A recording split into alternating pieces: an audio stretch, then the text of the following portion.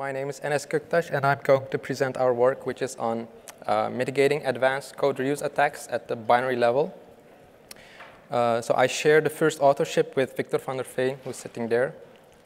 So um, control flow integrity is a very promising technique to stop uh, code reuse attacks. What it actually is doing is en it enforces certain uh, constraints. Uh, so control flow integrity actually modifies the program such that it Uh, enforces certain constraints during runtime, uh, which actually hinders the capabilities of uh, attackers. Uh, however, it is not that easy to enforce a very good uh, control flow integrity at, in, a program, especially at the binary level, where you don't have the information that's available in the source code. So um, existing binary level CFI solutions, uh, these are not able to protect, I mean, to prevent function reuse attacks, so the more advanced code reuse attacks. Um, this is called, so one of these uh, attack techniques is called COOP. So we developed TypeArmor, which is uh, a binary level CFI solution, but a more precise one than the current state-of-the-art binary level solutions. Um, it stops all published code reuse attacks with an acceptable and comparable overhead of about 3% on spec. Um, so what we try to do is we try to get as close as possible to um, source level solutions. So we try, so in source level solutions they uh, enforce uh, they look at the types of functions and uh, they use yeah certain information and we try to get actually close to this uh, solution. So let me try to give you an idea of what advanced code reuse attacks are. So what are attackers doing in such advanced attacks? Uh, so here we have a piece of code, uh, a function that contains a while loop, which contains an indirect call. And this indirect call uh, uses the f pointer variable to call different functions. Uh, so at runtime, this f pointer variable is being loaded with the address of a function, and then uh, at runtime it calls this function, the, loaded uh, function. And this can also be another function at the same indirect call. So it's not a direct call. It can be different uh, functions at different moments in program. Uh, but here, uh, we take three functions from the program. Uh, among others, um, we, take the, we take function one as an example. So this indirect call is allowed to call function one, but not function two and function three.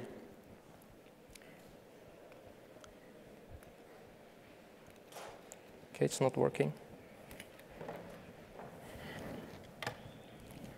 Okay, so what does an attacker do? The attacker gets control over this indirect call with some vulnerability. So it gets control of this f pointer. It's load, it's, it, it loads its own, um, the address of its interested function, for example, function 2 and function 3. Um, so an attacker what an attacker does in this advanced code reuse attacks is it uses this inner call within this loop to call multiple functions after each other. Um, so it also gets control of this uh, while loop, actually. And then uh, it calls multiple functions after each other to perform its desired functionality. The functions that perform the functionality are called, uh, we call gadgets, and the main uh, loop gadget uh, we call loop gadgets. And this is function-oriented programming. So, um, however, binary level CFI solutions, uh, they are unable to uh, resolve the exact targets of this indirect call. So they do raise the bar for attackers. The indirect call cannot go anywhere in the program, um, but to a limited set of targets, but to all uh, functions in the end. This allows um, attackers to still perform the advanced code reuse attacks. So it would allow this indirect call to go to all these functions. So at source level, um, you have all the information. You can um, extract the um, targets for all indirect calls, and you can enforce this information during runtime. For example, VTV enforces the class hierarchy information uh, to actually enforce this uh, constraint at runtime.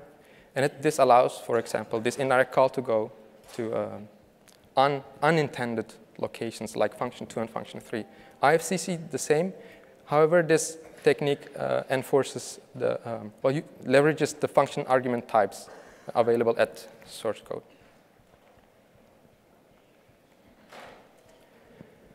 Uh, so what is TypeArmor doing? So TypeArmor tries to approximate the source level accuracy, tries to get close to the source level available information.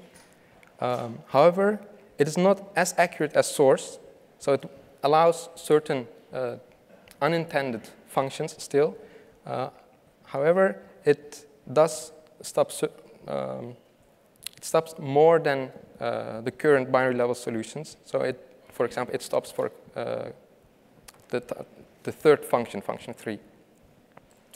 Uh, so, we, so we are somewhere in between the current state-of-the-art solutions and the source level solutions. Okay.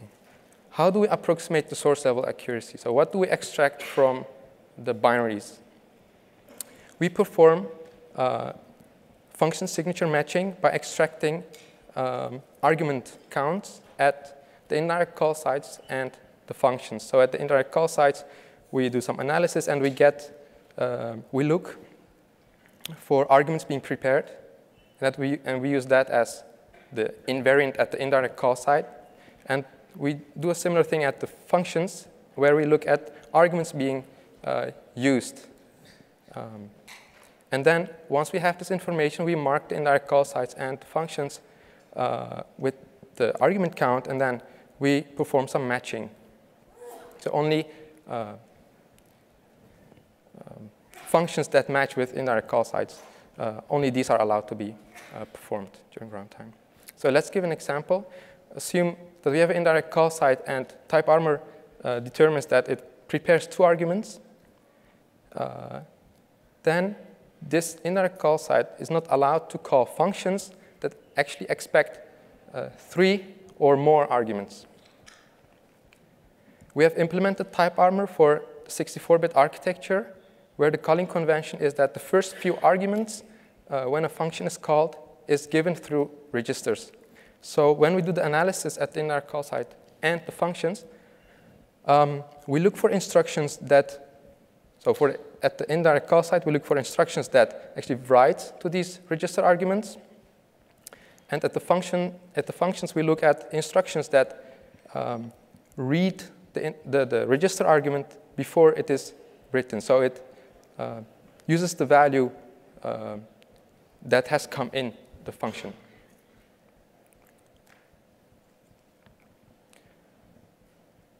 Okay, so um, let's give an example. So uh, we match, once we have the uh, information, we match um, the, the call sites and the functions, and depending on the, the types, we either allow or disallow the uh, link.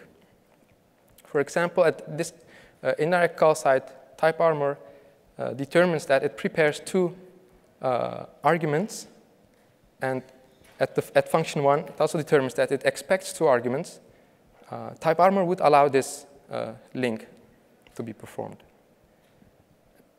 The same applies for function two, where TypeArmor determines that it actually also uh, expects two arguments, and it would allow again the the link, the control flow from the indirect call to this function, function 2. However, at function 3, it determines that it expects three arguments. And as a result, TypeArmor um, disallows this indirect call to go to function 3 because the matching uh, didn't succeed. So how accurate can we determine the prepared and um, the uh, the used argument count in our call sites and the functions. We have uh, evaluated uh, some widely used applications, servers, including Memcached, lighttpd, Nginx, and MySQL. Memcached is a distributed server, uh, mem uh, memory cached, that performs memory caching. lighttpd, Nginx are HTTP servers that serve websites, and MySQL is a database. The first three servers are C programs. MySQL is a C++ program. And you can see that MySQL is actually well, a lot more complex. It, it contains lots of indirect calls and lots of address taken functions. Uh, we, we can notice actually that we get quite close to the source code in determining the argument counts. For example, for MySQL, we can determine, well, type TypeArmor determines that, finds that uh, about close to 6,000 uh, call sites. Um, so it's able to determine precisely the argument count for 6,000 uh, call sites out of 7,500. And for functions, it is uh, able to determine precisely for about 7,000 out of 10,000 uh, functions the argument count it, it expects.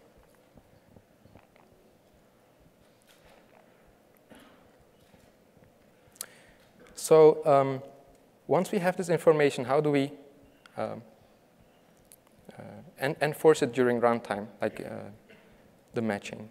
We insert checks before the indirect calls, and we insert the IDs, which are the, expected argument counts uh, at the functions. Uh, we, we insert it before the uh, function entry point. Once the indirect call is about to be called, it performs the check. It retrieves the ID of the, the, the function that's targeted, and then it performs a check. This check does, um, is the ID of the targeted function within my reach? And that is, uh, it checks whether the target ID is less or equal to its own ID. So in this case, this indirect call could go to functions that have 0, 1, or 2 uh, arguments.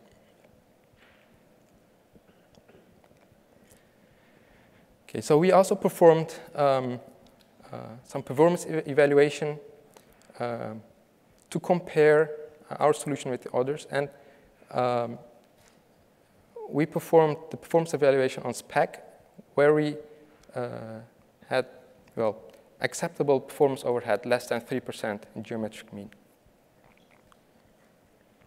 We again evaluated some servers, and um, here we could see that actually security comes um, with a price. So improved security can, uh, can give actually also quite some performance overhead. We saw in MySQL, which is our worst case uh, performance overhead, which is in C++, um, had a performance overhead of 24%, but the others had uh, far less uh, performance overhead. And we think that MySQL executes an uh, immense amount of uh, indirect calls in its critical path. As to conclude, we extract new invariants from binaries that were not evaluated before, extracted before, and we use this information um, to apply the strictest security policy at the binary level known to date. And we actually also show that binary level CFI solutions can mitigate uh, advanced code reuse attacks. Also, we are planning to uh, make TypeArmor open source, so keep an eye out on our webpage, vusec.net. Thanks for listening, and I'm happy to accept questions.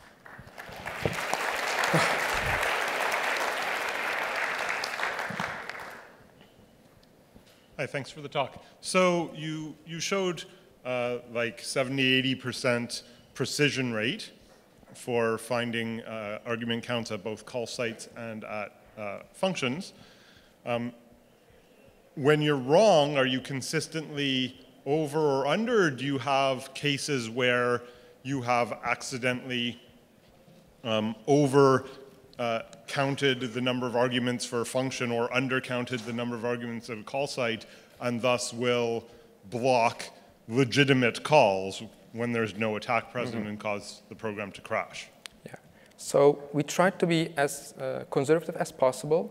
So during the analysis, um, well, we tried to, um, at the indirect call side, we tried to uh, overestimate uh, and at the function underestimate.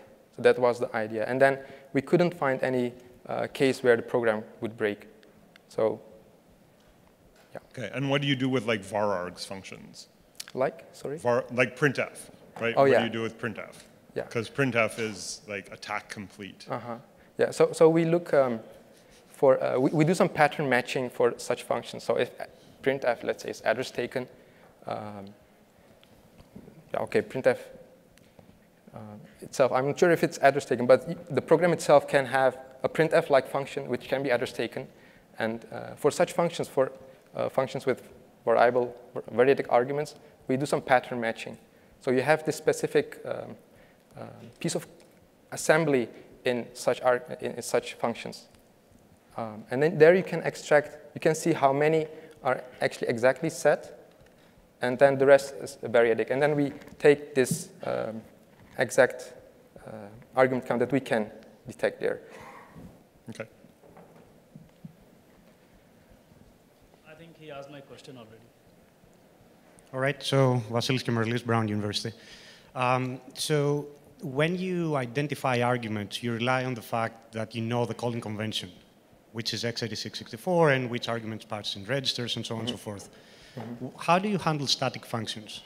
How do when, I a when a compiler compiles a static function, static function. Yeah, and function that is not exposed in the compilation unit. There is no requirement to respect the calling convention. So how do you identify the arguments there in um, such cases? So in static functions, so which are not address taken, you mean? Or I think I, You can have static functions which are address taken and are assigned to function pointers. Okay, what's the problem you're seeing there? So the problem is that how do you know, uh, you rely on the calling convention to identify the arguments, right? Mm -hmm. And the compiler, when it compiles that, doesn't need to follow the calling convention. It can do whatever it wants because the, the function is not exposed outside of the compilation unit. Mm. So I think if it is address taken, I don't think the compiler can do whatever it wants, I think. Uh, we, we, okay, we will have a look at it, but I think if it's address taken, it has to follow rules that apply to address taken. So I think that priority is higher than if it's okay. address taken. All right, thanks. Okay. Hi. Uh, so I have another question. Uh, does your tool handle calls based on the register, uh, register-based calls? When the address is in the register, not in the memory. Compiler can do those kind of things, right? Uh, I'm sorry, I think I couldn't understand. So the, the example that you showed, yes, uh, it was a call f pointer. So yeah, f pointer is holding the address of the call. Yeah, exactly. But there are certain situations in which compiler uses register-based calls. It, it uses the registers to make a call. Yeah, so yeah.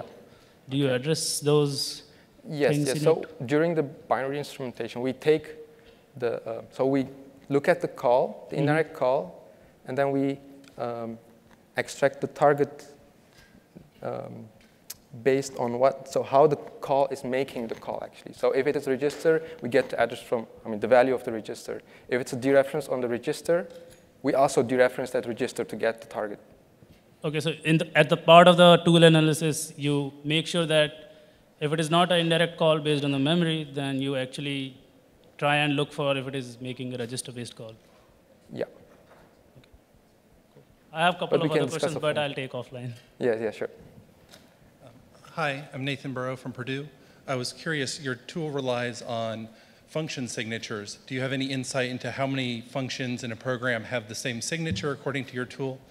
And if that group mm. is large enough to still make code reuse attacks within that group of functions with the same signature practical? Okay, that's a very good question. Mm. um, no, I don't have the answer right now. okay, thank you. Um, so I, I, I, noticed you mentioned in your abstract a little bit about uh, the, the COOP attack. Um, do you, can, can you talk a little bit about why your, why your solution, since it's still not fully precise, uh, mit mitigates that attack? I, I, guess I just don't understand that, that link there. Why it does not mitigate? Why, why it does mitigate? You, you had a blurb in your abstract, and, and maybe I should just oh, read yeah. the paper, but, but why, like what, what's the okay. interaction between yeah. this, this additional precision and, and the COOP attack? Mm -hmm. So during the COOP attack, it uses the main loop, the loop gadget, where it has one indirect call site, and it calls different functions, right? Okay. Okay, so we look at the indirect call site, and we, so um, in the examples we, uh, so in advanced code reuse attacks we looked at, we could see that uh, the uh, indirect call that was used in the main loop did not match with at least one of the functions that were called. So in that way, we could stop the attack. Um, so, so you, to, to be clear, you were just looking. Did you did you look to see if like the there were other functions that were still allowed under your scheme that could have replaced the ones that were used in the COOP attack? No, we didn't look at the, to, to, to harden the available exploit, we didn't have a look at it. Okay.